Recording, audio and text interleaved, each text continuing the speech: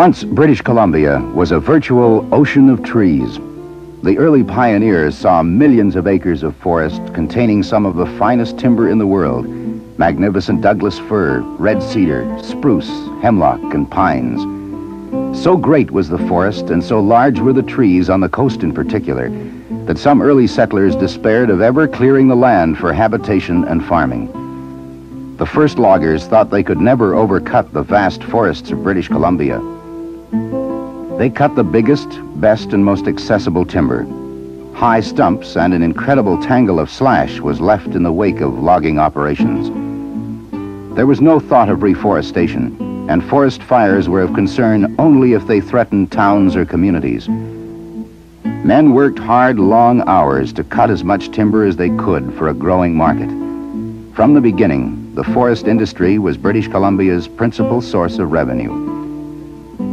The major ports of the province were crowded with vessels from a score of nations. First sailing ships, then steam-powered freighters lining up in the ports to take away an endless stream of boards and timbers, pulp, paper, and plywood. The senior foresters of the day were at least as responsible for the development of new world markets for timber products as they were for safeguarding the forest resource. Finally, forestry was coming into its own a reservoir of knowledge was building up. A school of forestry was established at the University of British Columbia.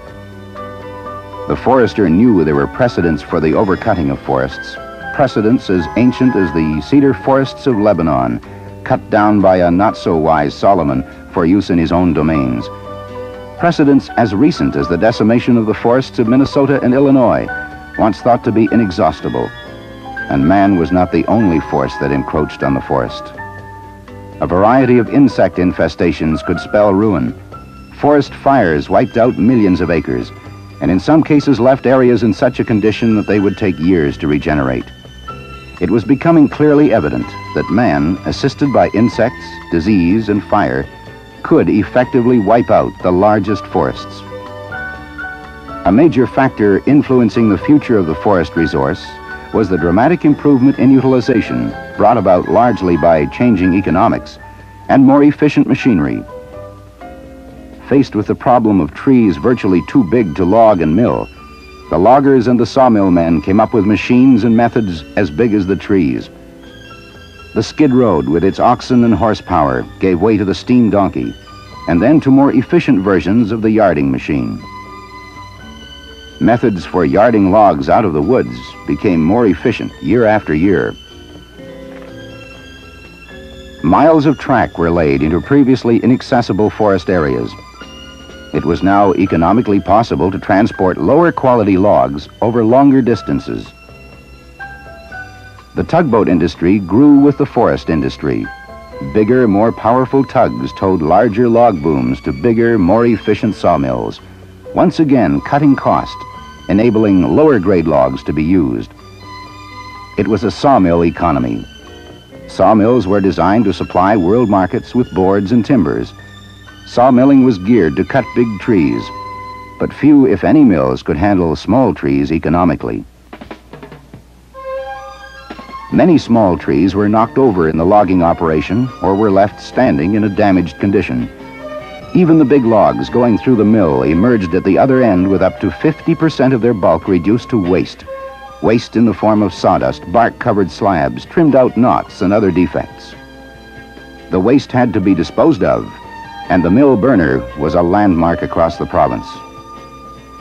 Logging and sawmilling were the backbone of the provincial economy.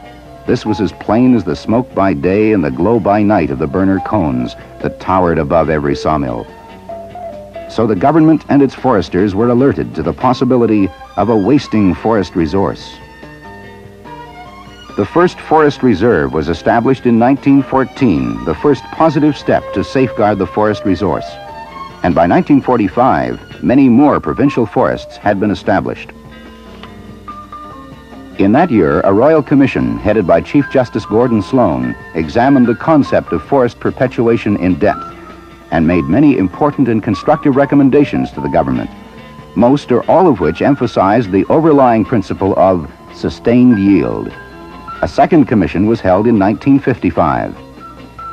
Basically, this principle requires at least as much new growth in British Columbia's forests each year as is logged and is destroyed by fire, insects, and disease. It works this way. The available forest resources are divided into two principal kinds of management units. Tree farm licenses, which are managed by private concerns with constant supervision by the Forest Service, and public sustained yield units, which are administered directly by the Forest Service. Since 1947, the Forest Service has pursued a policy to put all forested crown lands under sustained yield.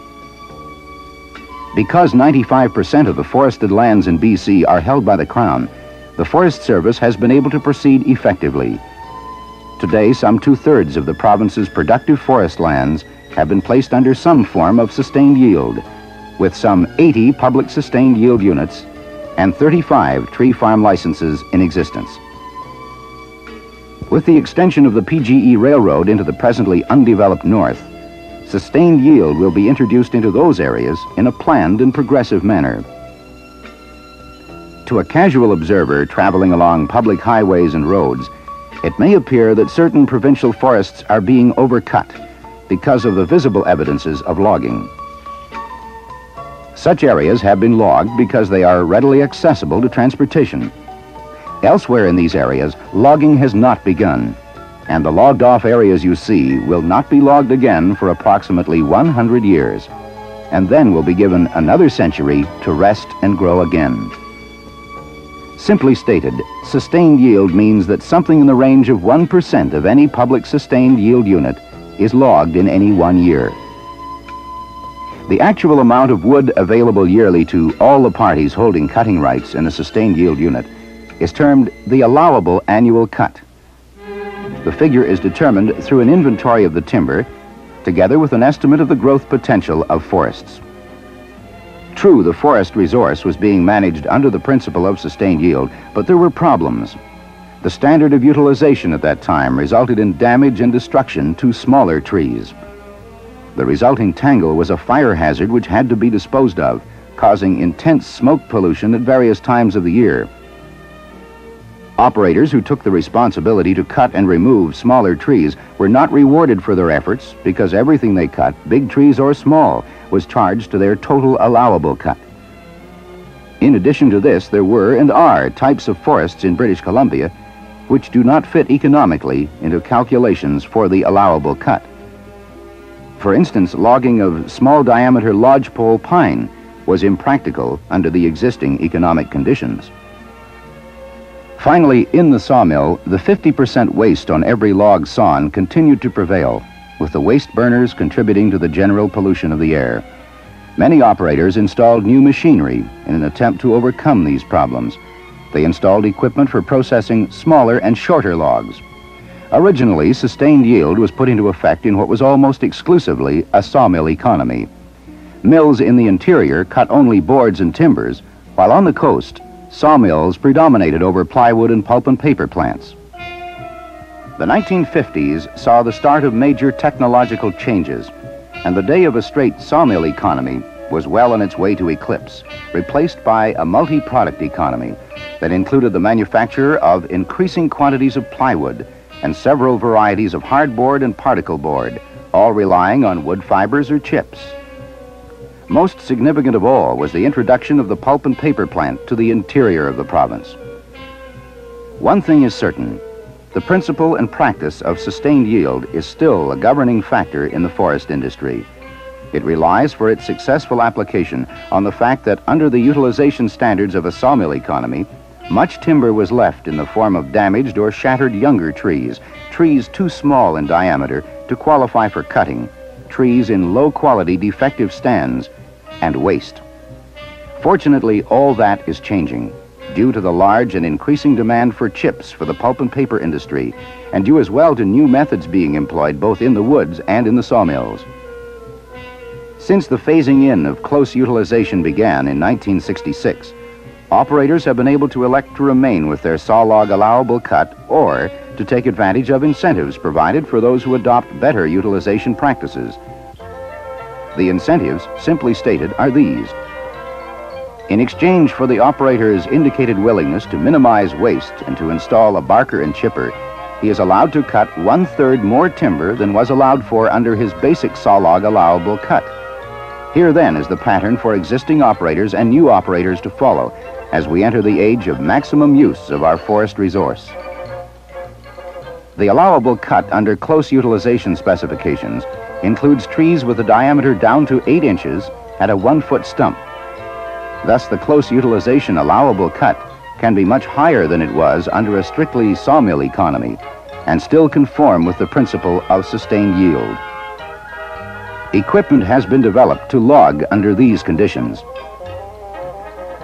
The chainsaw, of course, is standard equipment in the woods, but the tree shears have proven even more effective, snipping trees close to the ground and well within the one-foot stump limit. Tractors, rubber-tired skidders, and other forms of mobile equipment work quickly and efficiently in the woods, conducting the yarding and loading of logs as well as of chunks and pieces that would have been left in the woods under the old system.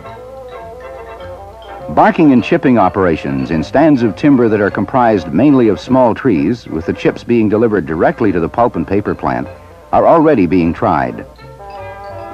In the sawmill, a whole range of technical improvements have been introduced.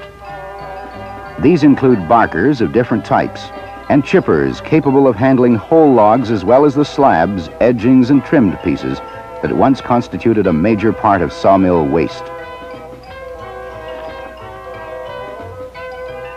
There are saw chipper combinations and high-speed saws that produce a narrower cut than head saws used previously.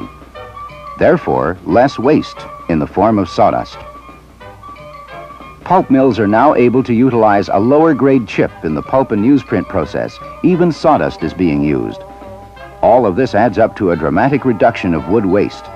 It makes possible the utilization of diseased trees and tree pieces that were once left in the forest. Close or maximum utilization means exactly what it says. The processing of every usable part of a tree and the cutting and removal of all trees from an allocated timber holding. Operators who elect to perform under such an agreement are offered incentives in the form of lower stumpage charges and in the form of an increased rate of cut. Areas so logged look like this. Trees cut close to the ground, most slash and other wood debris removed and converted into chips. The cleared area, unscarred by slash fires, ready now for effective reforestation and multiple forest land use. Now, as never before, the Forest Service can move into these areas left after logging and put into effect a planned program of reseeding and planting a minimum of 75 million seedlings annually. These new forest tracts will be fertilized where required, thinned and managed just like any crop of great value, and ultimately harvested employing the most effective techniques. This is the underlying principle of forest management, aimed at perpetuating the forest resource of the province. As new forests grow up on logged areas, they become part of managed multiple-use programs to protect watersheds, fish and game habitats, and the development of outdoor recreation amenities. The benefits to everyone, a greater return per acre, both in money and opportunity for recreation. Therefore, a benefit to society. The reduction of fire hazard and smoke pollution. More forest industry to meet the world demand. Therefore, more employment. Perpetual forests. This is sustained yield.